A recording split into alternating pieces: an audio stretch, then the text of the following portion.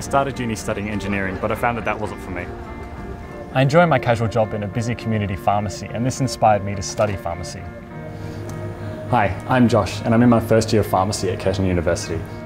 What excites me about pharmacy is the opportunity to meet new people every day and being in a position to manage their health, getting them back to work and back to the things that they have to do and the things that they love to do. In first year, I have classes with other health science students, and I'm learning how we can work together to help our patients. I'm starting to see how that sort of collaboration leads to the best possible care for patients. Having a better idea of the possibilities when it comes to referrals or following up advice that the patient has received from other health professionals. There's a great real world emphasis here at Curtin, and many of the staff are practicing pharmacists themselves. They obviously realise the importance of being available to students on a day to day basis. There's also a great student mentor program. Having someone who is further along in the course to guide you is invaluable, from pointing out the best spots for eats to passing on the best way to prepare for lab reports.